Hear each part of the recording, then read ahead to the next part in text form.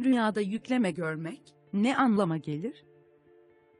Rüyada gördüklerinizi sizin için yorumluyoruz. Yükleme görmek bir anlam taşır mı? İyiye mi işarettir? Hayatımı etkiler mi? Rüyada yükleme görmek. Yükleme, rüyada bir araca bazı şeyler yüklediğinizi görmek, sizden istenilen şeyleri kolaylıkla yapacağınızı bu yüzden bir zorlukla karşılaşmayacağınızı, bu suretle hem ailenize hem de kendinize faydalı bir iş yapacağınızı gösterir.